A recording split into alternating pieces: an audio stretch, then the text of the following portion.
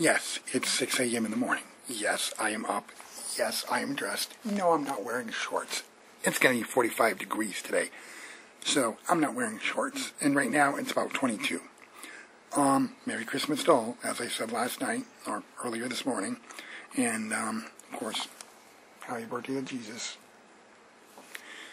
I'm sitting here waiting for Mr. Crawford to pick me up so we can go to the Haven Rest and serve. Either serve inside, making meals, um, or going out and delivering food, which is probably what we're going to do.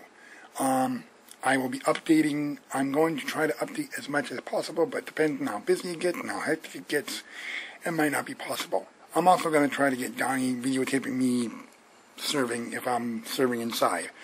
So, anyways, that's it for now. Um, so, Merry Christmas again. Um, it's going to be an awesome day because it's already been an awesome weekend and an awesome week. So, um, until the next video, um, this is me, Jason, signing off.